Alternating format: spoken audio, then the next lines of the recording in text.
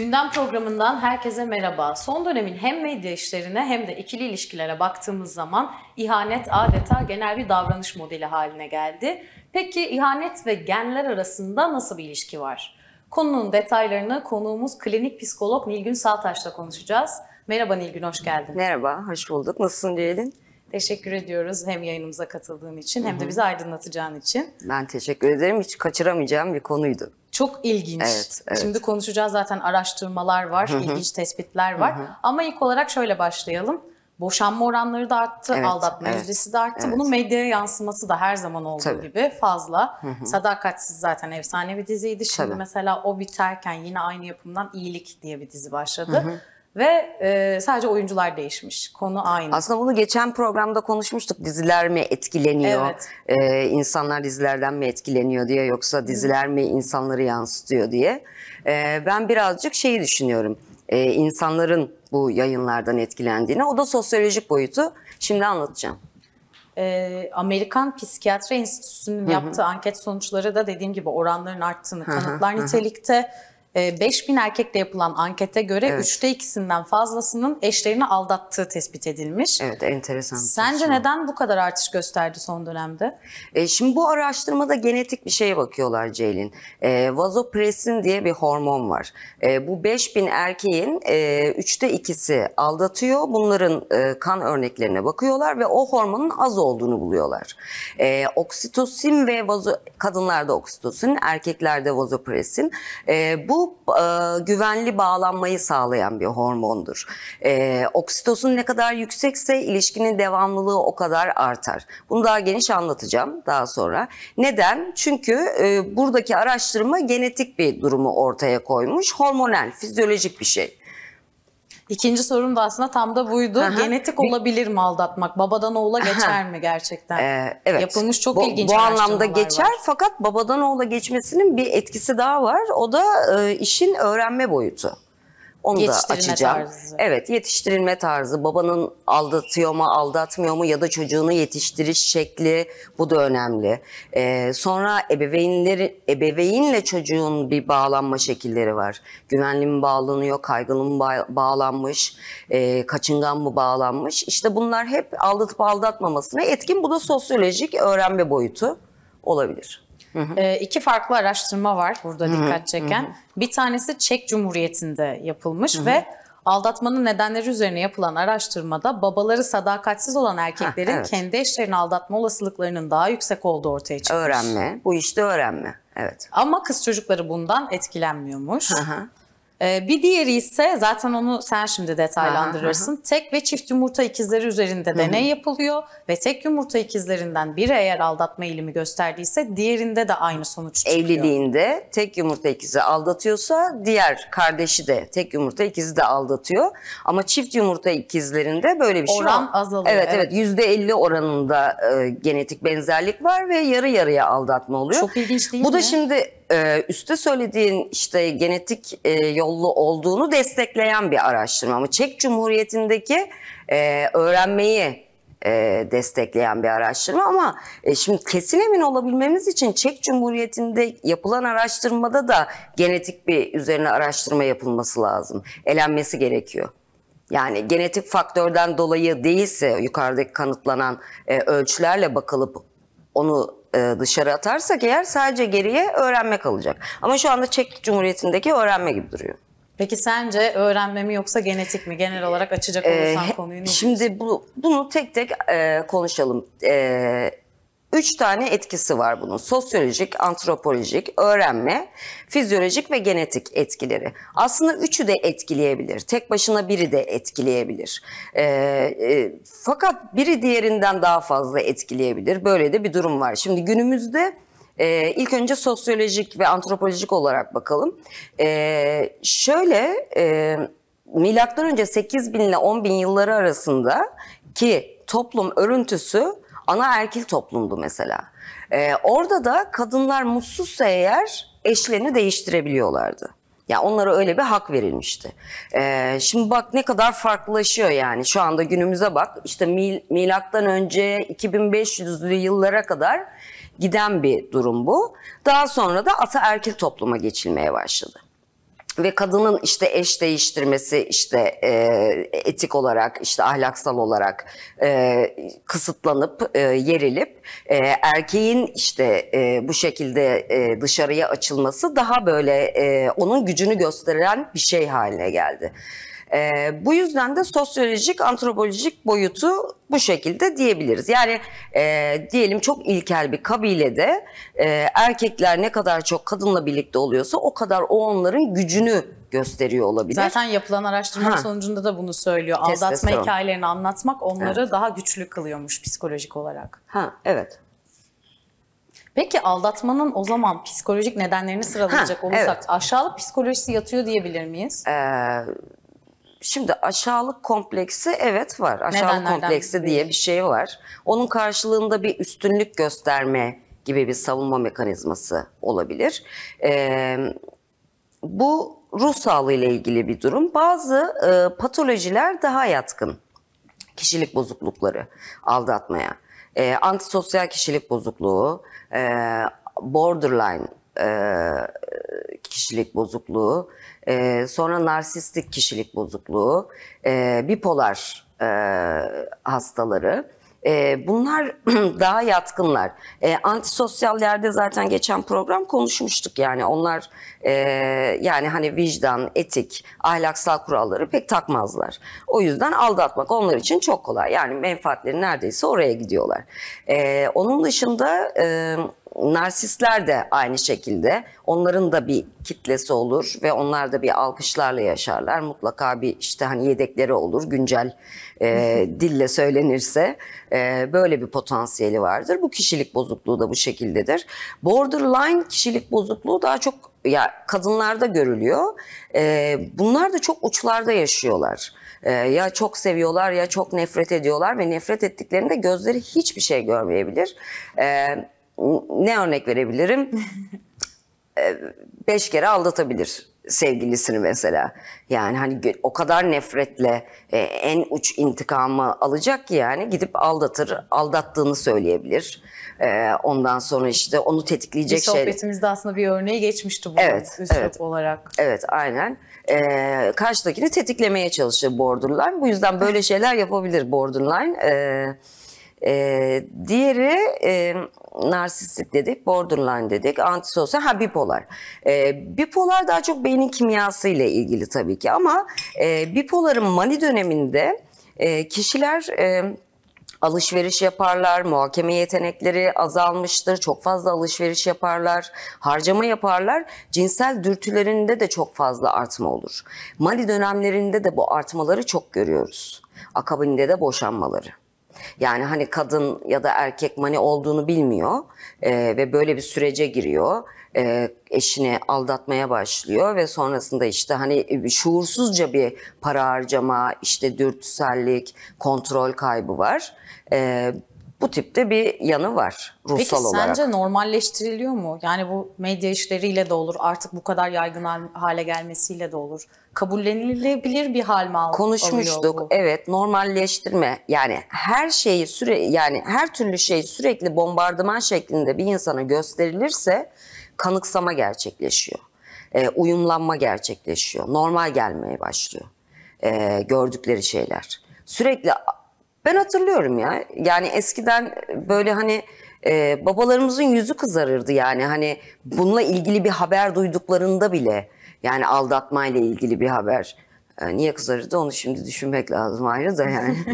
yani e, yani hani eskiden böyle utanılacak, e, saklanacak bir şeydi. Şimdi ise erkeğin güç, güç gösterisi gibi bir şey oldu. Peki sence erkeklerde yani araştırma sonuçlarına da bakacak olursak erkeklerde patolojik olarak daha fazla olduğunu söyleyebilir miyiz bu eğilimin? Yoksa yanlış bir saptama mı olur? O yetiştirme ile ilgili birincisi. Evet daha fazla. Sebebini şimdi düşünelim birlikte. Birincisi işte bu e, öğrenme, yetiştirme ve babadan aldığını ya da çevreden gördüğünü gördüğünü e, topluma uyarlayabilmesi için bir alan var, açıklık var. Kız çocuklarında öyle bir şey yok. Mesela e, oradaki bir araştırmaydı. Kız çocuklarıyla yapılan bir araştırmada e, aldatıyorsa söylemiştin sanırım. E, anneleri aldatıyorsa kızlar aldatmıyorlar. Etkilenmiyor, evet. evet etkilenmiyor ama işte babaları aldatan erkekler etkileniyorlar çocuklar, erkek çocukları ileride eşlerini e, e, aldatabiliyorlar. E, burada kız çocuklarında şöyle oksitosin diye bir şey var, bir hormon var. E, yani bir hayvanı sevdiğinizde, sarıldığınızda, işte e, sevdiğiniz bir arkadaşınızla birlikte olduğunuzda, seviştiğinizde, e, eşinizle birlikte güzel bir gün geçirdiğinizde, yakın e, temasta oksitosin salgılanır. Bu da kadınlarda yüksek düzeyde vardır. Bebeğe bağlanmasını da bu sağlar. Belki de yani oksitosin hormonu yüzünden bu olabilir. Ee, daha Sadakat duyguları daha yüksek. daha yüksek. Bir de yani kadının doğurduğu çocuğa bakma gibi bir yükümlülüğü var. Yani bu fizyolojik bir şey. Emzirmesi lazım, e, onu koruması lazım. Doğada doğar doğamaz hayvanlar hareket edip gidiyorlar. Fakat işte insan bağımlı. Yani 5 yaşında yürüyebilse de onu tek başına bırakamaz anne. O yüzden evinde durması gerekiyor bağlı kalması gerekiyor. O yüzden kadının böyle bir tek eşliliğe tabii ki bir yatkınlığı var. Ee, erkeğin ise e, çok eşliliğe bir yatkınlığı e, söyleyemiyorum. Söyleyeyim mi? var. O zaman Gibi ben duruyor, de bu evet. noktada kadın takipçilerimizin merak ettiği bir Hı hı. soru yönelteceğim. Hı. Şimdi artık bu dizilerde de olsun ya da yakın çevremizde gözlemleyip duyduğumuz sohbetlerde ki sen hastalarından da fazlasıyla duyuyorsundur. Nasıl fark edemedim? Gerçekten de e, çok iyi tanıdığını da düşünse, yıllar da geçse insanlar fark edemiyor, bil- biliyor. Çünkü bunun da sebebi artık daha iyi gizlemeye başladılar sanırım. Peki hangi davranışları ele verir aldatan insanı? Yani nasıl anlarız? Ee, şimdi kişiden kişiye göre de değişebilir. Ee, Kadın takipçilerimize tüyo verecek Yani olursan. tüyo verecek yani şöyle yani eskiye göre daha farklı olduysa e, şöyle yani uçlarda bir farklılık varsa yani hep siyah giyerken birden bir bire kırmızıya geçtiyse mesela. Şener Şen'in de böyle bir filmi vardı. Hatırlıyorum. Adını unuttum şimdi hatırlayınca söylerim. E, ondan sonra aşırı sinirli olmaya başladıysa ee, işte soru sorulunca hemen parlamaya başladıysa. Yani bu birazcık ruh sağlığı konusundan çıkıyor. Birazcık gözleme dayanıyor hani benimki gözleme ve hani duyduğum Hayır, hikayelere. mesela suçluluk psikolojisiyle Ee, daha fazla işte iyi da- mi davranır yoksa tam tersi İşte onu söylüyorum hani e, daha fazla iyi de davranabilir. Sınırını korumak için, alanını korumak için e, daha sert de ol- olabilir. Yani daha suçlayıcı. Bir de şöyle bir şey, kendisi e, suçlanmadan da suçlayabilir. Bunu da görüyoruz. Yani adam sürekli ya da kadın aldattın, aldattın, aldattın beni diyor. E, aslında yansıtma yapıyor kendi durumunu. E, karşıda e, kendisi aldatıyor aslında. Yani hani bu, bu, bunu kendinden uzaklaştırmaya çalışır. Ee, bir de e, aşırı asabiyetle e, sınırını çizer. Yaklaşma bana der yani. Ee, çok iyiyse hediyeler falan geliyorsa onda da bir şüphelenmek lazım. E, mağaza- magazinsel konuşalım. E, işte telefonlar çalıyorsa, sessiz telefonlar gelmeye Zamansız başladıysa. saatlerde mesajlar Ya, atılıyorsa. yani evet bunların hepsini dizilerde falan görüyoruz hayatlarımızda Sadece görüyoruz. dizilerde görsek. Yani evet gündelik zaten dizilerde e, işte hani birbirini tetikliyor toplumla karşılıklı etkileşim var. Araştırmayla ilgili değinmek istediğin şeyler var mı? E, şimdi bu 5000 kişiyle yapılan araştırmada erkeklerin üçte ikisinde vazopressin e, hormonu az bulunmuş. E, bu bu durumun e, hormonal e, ve fizyolojik olduğunu gösteriyor. E, işte e, Stockholm'de yapılan bir araştırmada da 5 en az 5 yıl evli çiftlerde e, aldatan erkeklere bakılıyor. Av-Pürea 334 geni diye bir şey var. E, bunun iki tane olduğu bulunuyor. E, yani bu, bu gen belki de vazopresini düşürüyor, oksitosini düşürüyor, testosteronu art, arttırıyor. E, elimizde o kadar veri yok bu araştırmayla ilgili. E, onların da desteklenmesi lazım. Ee, onun dışında kızları söyledim. Ee, bir de öğrenme faktörünü destekleyen o Çek Cumhuriyeti'ndeki araştırma var. Onda da işte babası aldatan e, erkekler aldatıyor. Ama işte antisosyal kişilik bozukluğu olan bir babanın çocuğunda da görülme olasılığı var. Manik depresifse çocukta da e, olabilir. Genetik geçiş de olabilir. Yani bu- bu- bunlar etkiler. Genetik, sosyolojik e, ve öğrenme açısından inceleyebiliriz. Fakat bir şey söyleyeceğim. Bu kadar da moral bozmayayım. Şimdi aşık olunuyor. İşte en fazla bir buçuk iki yıl sürüyor zaten o aşık olunca ortaya çıkan yüksekçe salgıladığımız Altı ay hormonlar. değil miydi? Ee, bir buçuk iki yıl kadar sürüyor o hormonlar. Ee, üç yıl diyen de var, altı ay diyen de var. Bir buçuk iki yıl ortalaması. Ee, peki bu hormonlar ortadan kalkıp bu tutku, şehvet, e, sürekli kafaya takma. Çünkü işte endorfin artıyor, e, dopamin artıyor. E, oksitosin, e, oksitosin de artmıyor. Bir saniye oraya geleceğim. E, bu, bu hormonlar arttıktan sonra e, sürekli karşı tarafı düşünüyorsunuz, görmek istiyorsunuz, e, aşıksınız. Aşk bir nevi takıntı zaten. E, e, OKB'deki gibi e, obsesif kompulsif bozukluk da takıntı ve aşık olduğunuz zaman OKB'deki e, bir OKB rahatsızlığı varsa beyinde aynı kimyasallar Bir çeşit fa- hastalık o fazlalaşıyor. Evet, aynen öyle. Ee, bir süre sonra eğer o bir buçuk yıllık hormondan, dürtüden kaynaklanan e, aşk eğer e, güvene, alışmaya, entelektüel anlamda paylaşımlar yapmaya, ortak vizyon geliştirmeye eğer dönüşmezse bitiyor. Eğer o bir buçuk yıl içerisinde e, alışırsa insan mümkün olduğunca bir arada kalırsa işte sarılmak, öpüşmek, sevişmek, birlikte vakit geçirmek e, bunlar oksitosin denilen bir hormon var. Buna bağlılık hormonu deniyor. E, arası kötü çiftlerde mesela önerilebiliyor. Oksitosin burundan sprey e, e, hani e, şey daha böyle yakınlaşmalarını e, eskiye göre daha kötü oldularsa daha yakın olmalarını sağlıyor. Ee, daha sonra e, endorfin, serotonin, dopamin. Ee, yani bu dopamin düzeyinin artması takıntıda da, e, OKB'de de, aşkta da e, aynı şekilde görünüyor diyebiliriz. Önemli olan oksitosine çevirmek. Çok ilginç aslında. Yani evet e, o oksitosuna çevrilirse o uzun dönemli bir aşk ilişkisi oluyor işte. E, ona da işte sevgi deniyor. Yo- Biçim değiştiriyor. Evet yoldaşlık deniyor ama işte ilk görüşte tamam bu adam tamam bu kadın işte onca yıl seni aradım aramızda bir çekim var diye böyle başlanıyor. Ondan sonra bir ay sonra bitiyor. Bir ay sonra sadece cinsellik paylaştınız siz çünkü. Yani e, başka bir şey tutku, dürtü. Yani kortekste çıkmadı o. E, eğer kortekse çıkarsa e, korteks nedir? Bizim mantığımız, bizi insan yapan. Limbik sistem nedir? Ama senin söylediğin gibi mantık devre dışı değil mi orada? Mantık bir süre devre dışı. D- İlk fakat zamanlar için İlk söylüyorum. zamanlar için evet. Ee, daha sonra devreye girecek ki o ilişki sürdürülebilir olsun. Ee, bu insanda olan şey korteks gelişimi, muhakeme yeteneği. Korteksi ne kadar gelişmişse bir insanın e, hatta aşktan da o kadar fazla haz alır. Çünkü sadece limbikten uyarılmaz limbik sistemden.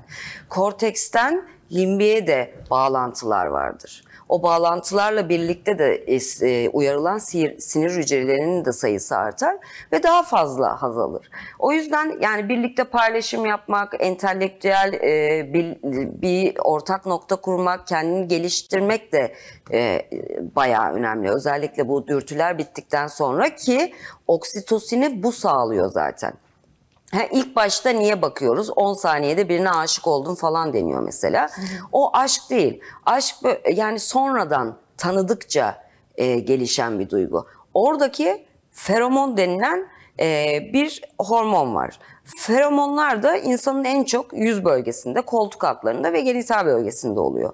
E, o kokuyu fark etmeden algılıyor kişi. Şimdi feromonun içinde e, işte bakteriler var, işte ter aslında ter gibi bir şey. Testosteron var ya da östrojen var. Şimdi testosteronu yüksek olan e, biri, bir erkek e, çekici olarak algılanıyor karşı taraftan. Testosteronu e, aslında testosteronu yüksek olan kadın da çekici olarak algılanıyor.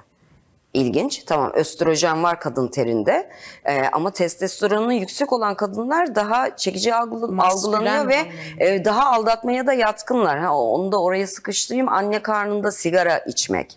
E, mesela e, o kız çocuğuna hamileyse annesi sigara içiyorsa, e, çok fazla strese maruz kaldıysa, çok fazla testosteron üretimi varsa çocuk da e, işte kız çocuğu da doğan çocuk da testosterona e, fazlalığına yatkın oluyor ve daha böyle evet maskülen, e, biraz daha girişken, dürtüsel ve aldatmaya yatkın. Yani ilk bakışta gördüğümüz şey feromonlar. Feromonlar koku. Bize çekici gelen koku. Orada karşıdaki kişinin bir e, DNA'sı bir e, bize uygun olup olmadığı var. Çünkü üremenin ya aşkın amacı üremek zaten. Yani soy- soyu devam ettirmek, insanlığı devam ettirmek en ilkel. İlk bakıştaki o hoşlantı da karşı tarafın DNA'sı bize ne kadar zıt ise e, biz o kişiden etkileniyoruz. E, ne kadar zıtsa ve testosteron işte ne kadar yüksekse çekici geliyor. Östrojen ne kadar yüksekse çekici geliyor. Erkekte testosteron yüksekse işte daha fit, kaslı, geniş omuzlu erkeklere bakılıyor zaten. Kadında bel bölgesi daha ince olması, daha genç olması da testosteronun yüksekliğiyle ilgili. Yani siz fark etmeseniz de beyniniz karşıdaki kişi genetik olarak size uygun mu, uygun değil mi e, onu algılıyor. Süremizin sonuna gelmişiz hiç fark etmeden. mi? Şimdi uyarı geldi ama Evet, tamam. daha da devam edebilirdik. Tamam. Bitirmeden sadece Tamam. şunu da sorayım yine araştırmaya dönerek. Şimdi öğrenmeyle de Hı hı. aldatma olabiliyor dedik. Yani Tamam. işte ailede Hı hı, görebiliyor dedik. hı. Ama bir de genetik faktör var. Peki soruyu şöyle yöneltsem. Diyelim ki baba aldattı fakat e, sonra ya bu ortamda büyümedi çocuk. Tamamen ayrı bir ortamda büyüdü. Genetik faktörlerden kaynaklı eğilim göstermesi mümkün mü? Mümkün. Yani Ya da, başka bir yerde, başka bir ortamda büyüdü. Aynen, başka bir Fakat e, baba baba antisosyal kişilik bozukluğu varsa babada e, belki çocukta da görülebilir ya da babada bipolar bozukluk varsa çocukta da olabilir genetik anlamda. E, ama o, o o yapılan deneyler gibi bir deneyin de yapılması lazım. Yani çok iç içe. E, ama şöyle bitirme, evet. Şöyle bitireyim. Erik Fromm'un Sevme Sanatı diye bir Evet, kitabı var. güzel. Evet çok severim ve orada sayfa gözümün önünde şöyle bir şey söylüyor. Ee, yani eş seçersiniz. Ee, herkes aldatabilir ama e, seçim e, sevmek aslında seçimdir ve o seçimi e, seçimi sürdürmektir. Yani e, aldatmamayı seçersiniz diyor. Seçebilirsiniz. Bu sizin elinizde diyor aslında. Yani genler ne olursa olsun, sosyoloji ne olursa olsun, muhakeme diye bir şey var. Bu yüzden korteks önemli diyorum. Yani korteksi ne kadar gelişirse bir insanın kitap okursa, işte yeni yerler görürse, e, yeni diller öğrenirse o kadar muhakemesi artar. E, Seçimlerine ve iradesine ve otokontrolüne o kadar sahip olur. Yani insanın elinde diyebiliriz Evet genetik var, e, gene antropolojik var, sosyolojik e, öğrenme boyutundan etkileri var. E, fakat seçim yine insanın, kadının ve erkeğin diyoruz. Yatkınlık evet ama insan da e, bunu yönetebilir. Ve bunu normalleştirmiyoruz. Bunu normalleştirmiyoruz ruh sağlığı açısından. E, milattan önce dönemlerde de yaşamıyoruz. İlkel kabilelerde de değiliz. evet normalleştirmiyoruz diyelim. Çok teşekkür Ben ediyoruz teşekkür katıldığın ederim. Ceylin. Gündem programının sonuna geldik. Bir sonraki yayınımızda görüşmek dileğiyle.